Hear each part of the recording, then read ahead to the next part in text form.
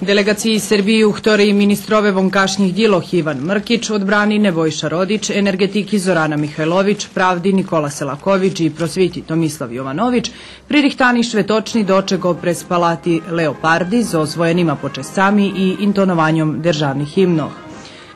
Posle bilateralnih shodov otrimana i plenarna schadzka, na ktorej su mirovani rezultati poterašnjoho bilateralnog sotrudnictva i rozpatreni na ihodzaci kročaji na zljepšanju ekonomskih i političnih odnošenja.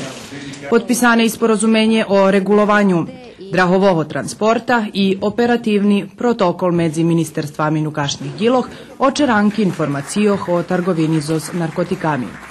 Ministerstvo vonkašnjih diloh potpisali i deklaraciju o sotrudnictve u evrointegracijoh, a Ministerstva pravdi memorandum o rozumenju.